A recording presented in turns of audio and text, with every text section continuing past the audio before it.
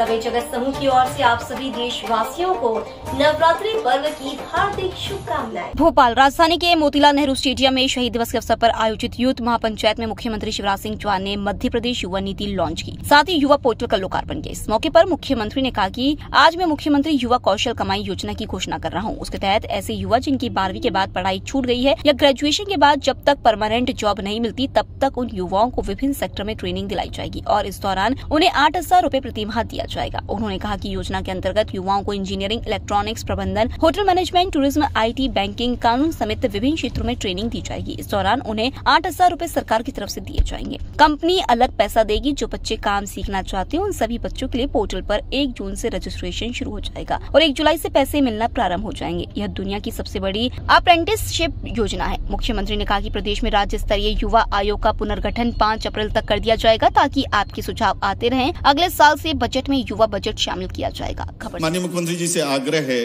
कि आप रिमोट के माध्यम से ये लाभ वितरण आरंभ करें। उच्च शिक्षा विभाग द्वारा गाँव की बेटी योजना के अंतर्गत पच्चीस हज़ार आठ सौ छात्राओं को 12 करोड़ 90 लाख रुपए राशि का वितरण माननीय मुख्यमंत्री जी कर रहे हैं। इसमें गाँव के स्कूल से बारहवीं की कक्षा 60 प्रतिशत से ज़्यादा अंकों से जो बच्चियाँ प्राप्त करती हैं, उन्हें ये सहायता दी जाती है। उच्च शिक्षा विभाग द्वारा माननीय मुख्यमंत्री ने जारी की ये गाँव की बेटी योजना, दूसरी योजना उच्च शिक्षा विभाग की, मुख्यमंत्री जन कल्याण योजना।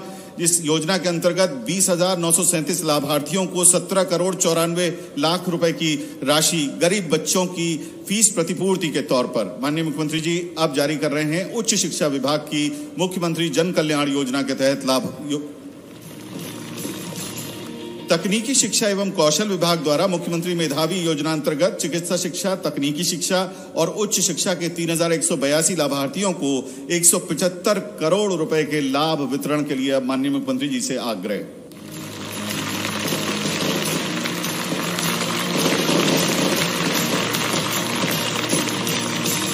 और खेल तथा युवा कल्याण विभाग के द्वारा छत्तीसवें नेशनल गेम्स गुजरात में 132 विजेता खिलाड़ियों को चार करोड़ अड़तीस लाख रुपए के नगद पुरस्कार की राशि अब माननीय मुख्यमंत्री जी उनके खातों में अंतरित कर रहे हैं। चार करोड़ अड़तीस लाख रुपए की राशि माननीय मुख्यमंत्री जी के कर से इन खिलाड़ियों के खातों में।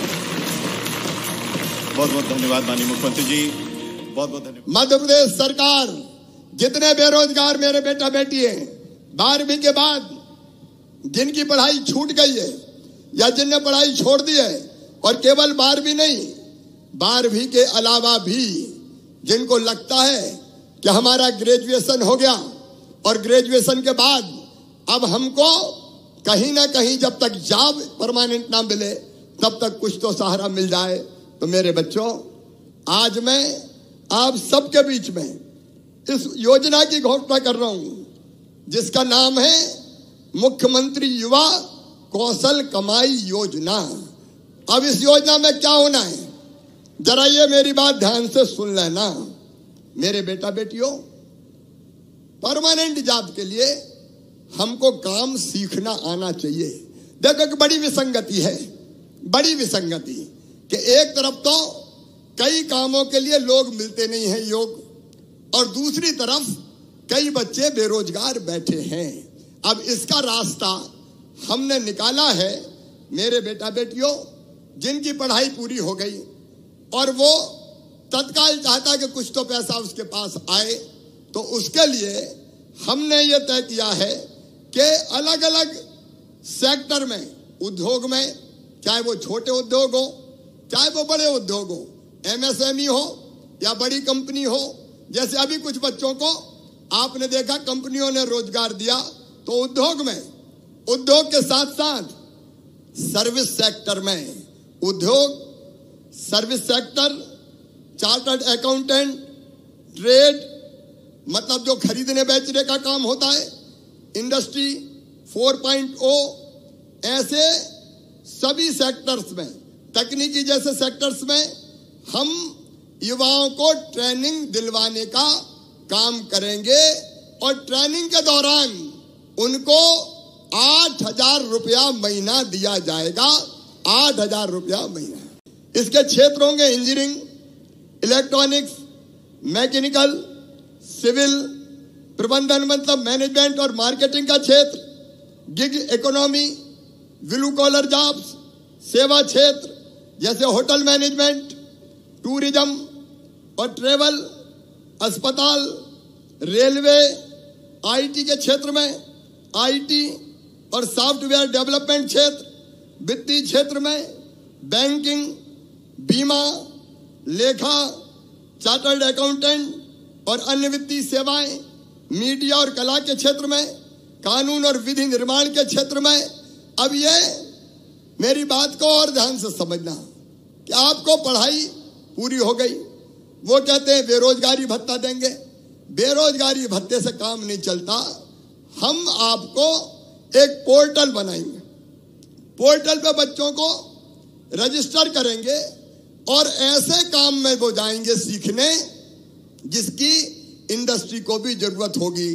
तो इंडस्ट्री में या अन्य संस्थान में जब वो काम सीखने जाएँगे तो काम सीखने के दौरान उनको कम से कम आठ हज़ार रुपया तो हम देंगे इस योजना के अंतर्गत सरकार की तरफ़ से।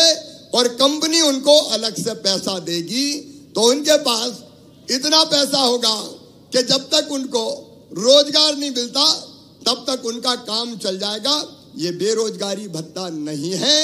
आठ हज़ार रुपया मिलेंगे, कंपनी के संस्थान के तरफ़ से भी मिलेंगे, लेकिन काम सीखने के मिलेंगे।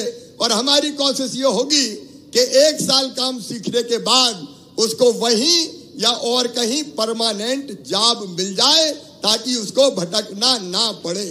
प्रदेश में राज्य स्तरीय युवा आयोग का पुनर्गठन किया जाएगा ताकि लगातार हमारा संवाद बना रहे। आपके सुझाव आते रहे और इसलिए युवा आयोग का पुनर्गठन पाँच अप्रैल तक कर दिया जाएगा। युवा आयोग बनेगा, जो युवाओं की समस्या सुनेगा और उसके समाधान का प्रयास करेगा। अगले साल जो बजट आएगा, उसमें युवा बजट शामिल किया जाएगा युवाओं के लिए बजट। और उसमें हम युवाओं की कल्याण की किस योजना पर कितना खर्च करेंगे, उसका पूरा ब्यौरा देंगे।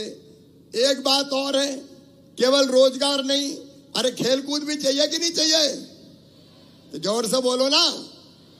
मामा नहीं थकता, तुम थक गए क्या?